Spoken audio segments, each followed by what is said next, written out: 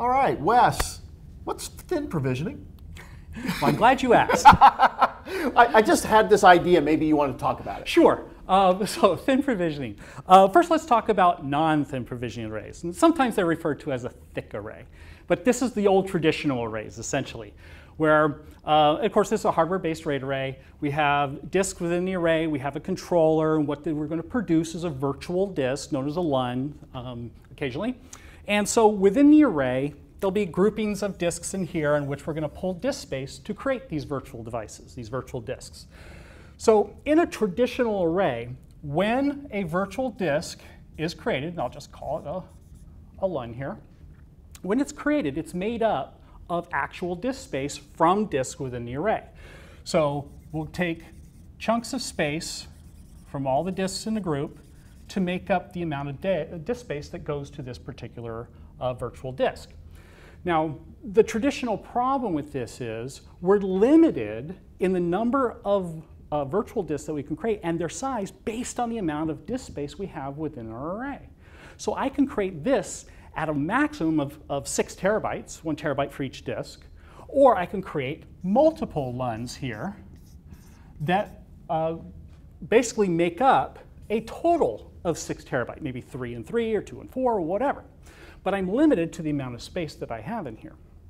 Well, I give these to my groups that request these, and I may have a terabyte LUN here and a terabyte LUN here. One group uses 100 gigs in this one, the other group fills this up and wants more. Okay? Well, now, can I give them more? It's based on how much disk space I have available here. That's where thin provisioning comes in. Solves this problem. Where I can have the same number of disks, we're still creating virtual disks with this, so as we create a virtual disk, let me group these together.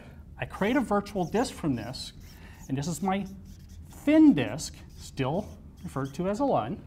Okay? This is essentially just an empty shell. It's the reference for a disk. But when it's presented to your host system, it sees it as a full-size disk. So if this disk, say, was uh, four terabytes, the host system will see this disk as a true 4 terabyte disk. But under the covers, there's no disk space assigned to this. Disk space is allocated on demand. So as we write data to this, the array will pull chunks of disk space from these disks here, and the size is going to be based on whatever the chunk size for the vendor is. They will go into this, this disk here, but only enough to satisfy the write request. So as data goes in there, we will only supply disk space to this to satisfy the needs of the amount of data that's there. So even though this is 4 terabyte LUN, we may be using just a very small amount of space here. So I can create multiple LUNs. So I can create another one, 4 terabytes here. That's 8 terabytes, and I only have 6 terabytes of disk space. You don't really want to do this because you might run into some issues. That's where good management tools come in to be able to manage this environment but I can do this. Then I have the group that uses only 100 gigabytes of this 4 terabyte uh, LUN, and I've only given 100 gigabytes to this. But then I have a group here that says I need 4 terabytes. They use all of that 4 terabytes in a record time, and guess what I can do? I can grow this thing out, grow it to 5 terabytes, and I still have space here to do it, as long as I don't exceed the total amount of space I have. Things to be careful of. What if this group here all of a sudden says, oh, we got four terabytes, let's use it. So that's where your good management tools come into play. So it's a good tool.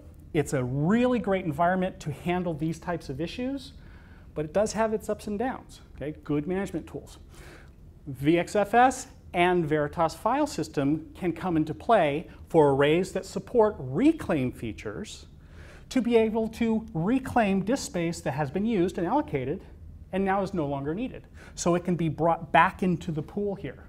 So if we actually use, say, a terabyte of space here, and then we delete most of that, the reclaim um, procedure will take that unused space, or the, the freed up space, and give it back to the array. And it goes through an API with Volume Manager. And Volume Manager and File System recognize thin provisioning arrays and the disks that support reclaim features.